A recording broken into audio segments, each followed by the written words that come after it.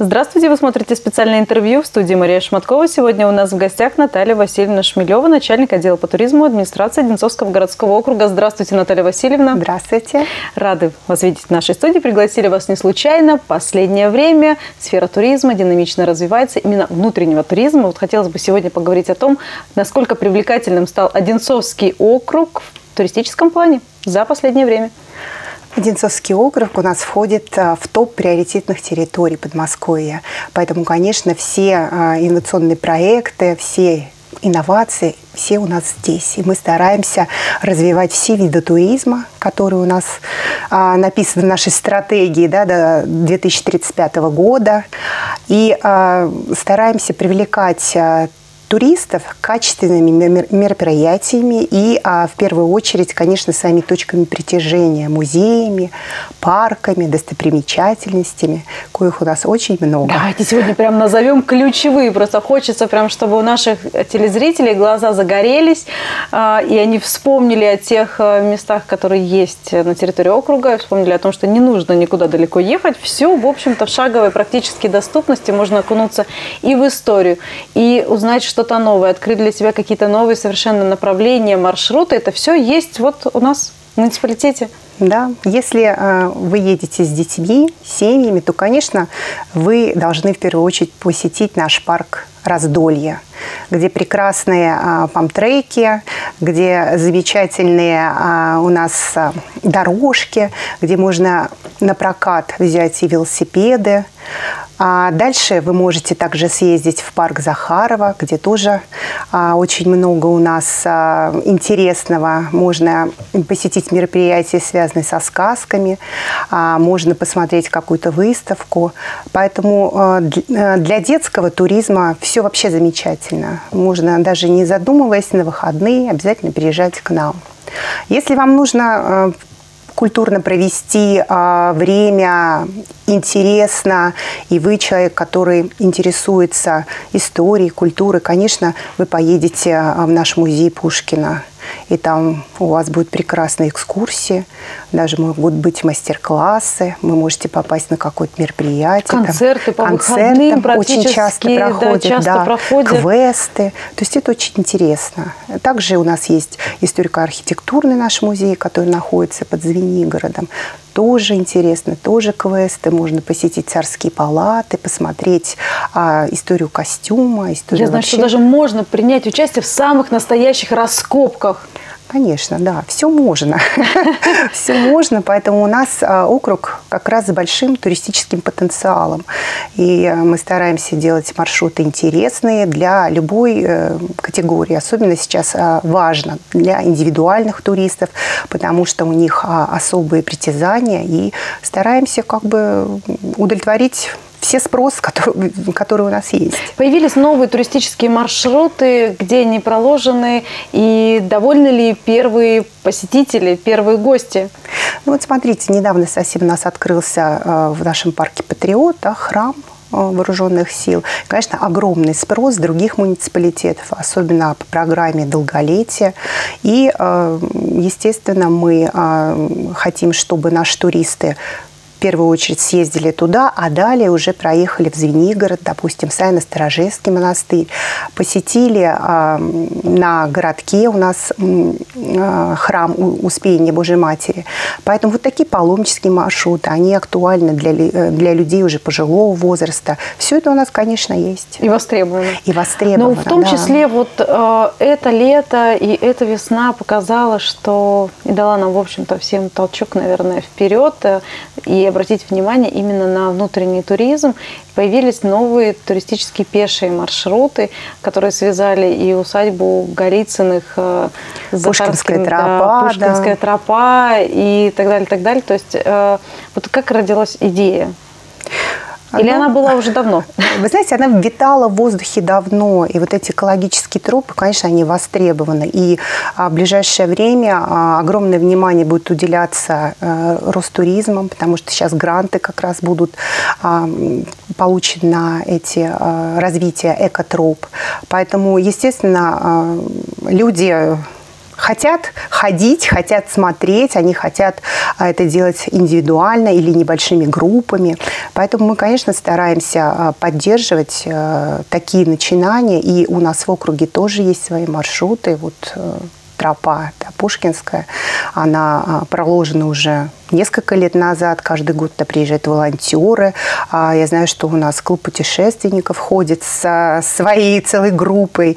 А, то есть, конечно, это все интересно. Ну и в Звенигороде у нас был проект «Тропа вдохновения», который тоже может связать несколько маршрутов воедино. Поэтому, конечно, интересно. Это нужно, обустраивать тропы нужно. Ну, Участвует ли наш муниципалитет э, вот в таких конкурсах, фестивалях э, на соискание гранта, чтобы э, дальше вкладываться в развитие туризма?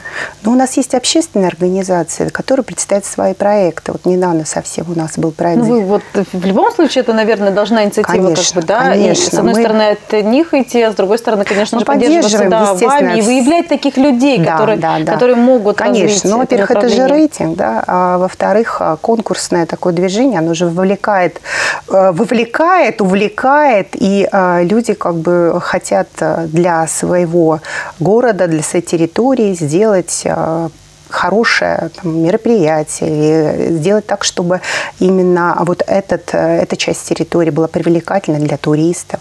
Конечно, поэтому любые конкурсы мы стараемся, как только получаем какую-то информацию, стараемся привлекать как можно больше людей, вовлекать в них. Наталья Васильевна, ну, конечно же, каждый из нас понимает, что наша Одинцовская земля богата историческими местами, памятными местами, но событийный туризм тоже набирает обороты и, в общем-то, становится уже ну, практически вровень по популярности, по востребованности. Да, событийный туризм – это тоже вот один из приоритетных видов развития, да, и мы поняли, что а, как раз вот это Э, эти такие фестивали не очень востребованы среди а, жителей, потому что хочется получить не только а, эстетическое какое-то удовольствие, да, хочется а, что-то новое узнать, хочется, чтобы это было вкусно. Поэтому ряд фестивалей, конечно, нужно делать и продолжать делать. И они, очень много фестивалей по всей Московской области проходятся. Но каждый фестиваль для своей территории, он уникален. Ну, например, вот да, совсем недавно, вот, одним из первых да, фестивалей, который прошел после пандемии, это фестиваль традиции э, в Захарово, который ежегодно собирает да, огромное количество лет, людей. Конечно. Причем э, люди ведь приезжают э, даже не только с Подмосковья, а по сути со всей России стремятся да, посетить да, да. этот фестиваль, привести себя показать и посмотреть. Потому что очень интересно, понимаете, люди соскучились по ощущениям и по э, хорошему контенту. Когда приезжаешь, получаешь такое вот удовольствие колоссальное, да, когда перед тобой выступают там Слава Немоляева э, и э, какие-то другие еще актеры, да, и вот какие-то там мастер-классы или это концерты. Это всегда очень интересно. Ты э, радуешься за то, что, э, хотя время было такое сложное, но это все осуществимо, конечно. Давайте посмотрим, как проходил в этом году фестиваль «Традиция». Окунемся в эту атмосферу. Давайте.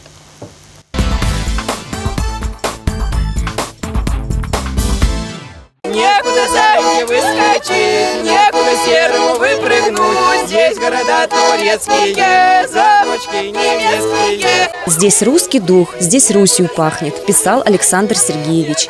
Этим духом наполнен сегодня каждый уголок усадьбы Захарова. В местах, где проходило детство поэта, вот уже в пятый раз провели семейный фестиваль под открытым небом «Традициям». Мы очень рады этому месту, где действительно а, и писатели, и поэты, и артисты, и зрители а, находятся вместе, в одном пространстве, вместе гуляют по аллеям этого замечательного парка, вместе могут перекусить, вместе слушают лекции, приходят на концерты. В этом и суть фестиваля «Традиция». Фестиваль для всей, фестиваля для всей семьи. Более 30 мероприятий на различных площадках парка. Виртуозы Одинцовского симфонического оркестра прямо на лесной опушке под вековыми липами. Сергей Лукьяненко в живом общении со зрителями о патриотической фантастике. Новая русская музыка в исполнении Таисии Краснопевцевой. Такой формат необычен для всех. Фестиваль – это абсолютно такое что-то это не концерт, это не а, выступление где-то в закрытом помещении, это всегда новая публика, потому что а, обычно музыканты разных а, направлений играть, да, и, то есть кто-то приезжает на одного, кто-то на другого, и у тебя есть возможность выступить перед людьми, которые часто после концерта подходят и говорят, ой, мы впервые вообще слышим, что бывает такая музыка, как интересно, и, конечно, в этом плане фестиваля это очень здорово. Ольга завсегдатай фестиваля. Приходит сюда каждый год. В этот раз решила поучаствовать сама. Создала с детьми поделки из лоскутков. Чтобы деткам было интересно, каждый для себя что-то нашел. И если дет, дет, ну, маленькие детки плачут, то одел на пальчик, допустим, любую игрушку и рассказал что-то такое приятное, успокаивающее для ребенка. И вы знаете, сердце ребенка оттает, и сразу он становится веселым, счастливым. А вот Светлана приехала из другого города и на таком празднике впервые. Говорит, необычный формат, масштаб и количество деятелей искусства, выступающих на фестивальных площадках, поражает. Здорово, что это на открытом воздухе, что все посвящено русским традициям. Ну, конечно, в переложении на классику. И, безусловно, то, что мы можем увидеть таких людей и услышать о Бродском, услышать э, что-то из уст Немоляевой, которая сама является тоже классическим русским э, таким, знаете, культурным пластом сегодняшнего дня. Поэтому отлично. Пусть бы побольше такого было. Собрать вместе талантливых людей, объединить прошлое и настоящее, сделать искусство доступным простому зрителю – основная цель фестиваля «Традиция», говорят организаторы. Это еще один шаг к сохранению уникальной русской истории и культуры.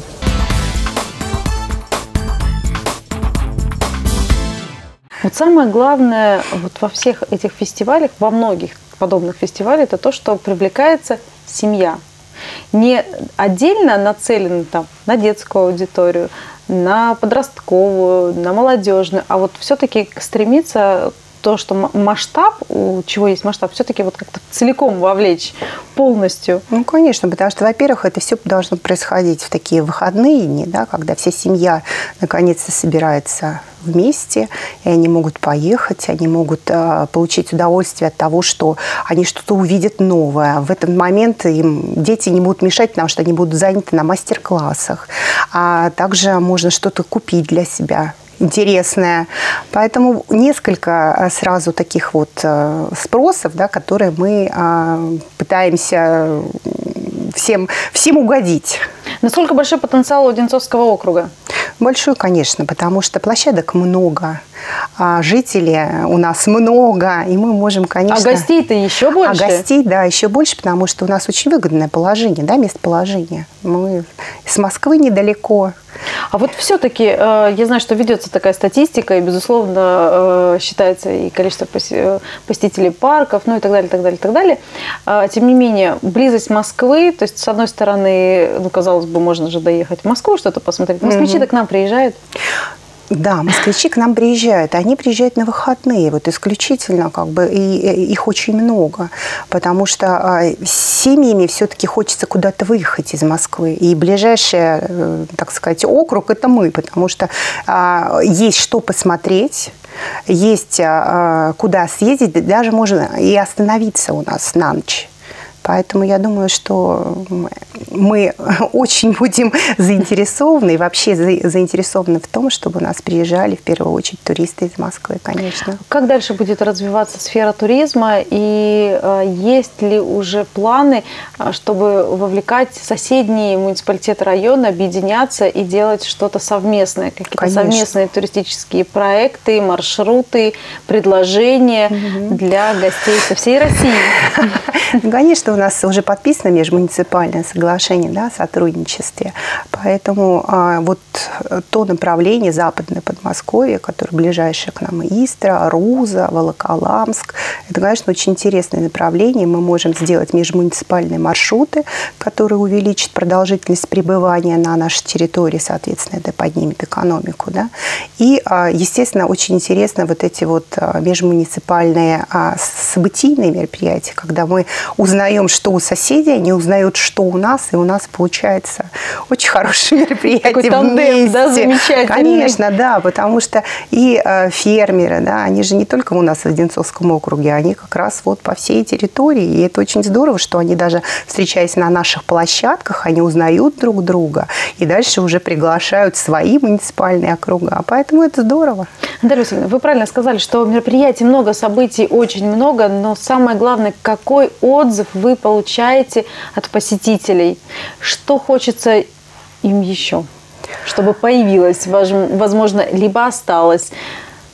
Но всем хочется праздника. Поэтому, конечно, а, люди, которые приезжают к нам, а, допустим, из Москвы, они хотят а, получить в первую очередь еще и качественный сервис того же гостеприимства. То есть это должны быть хорошие гостиницы, это должен быть транспорт, экскурсионные услуги. Поэтому мы работаем над этим вопросом, стараемся, а, так сказать, а, улучшать всю эту нашу структуру, которая, конечно, должна быть везде.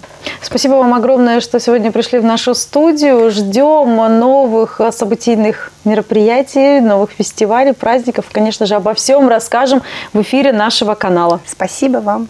Вы смотрели специальное интервью. Оставайтесь на нашем канале. До свидания. До свидания.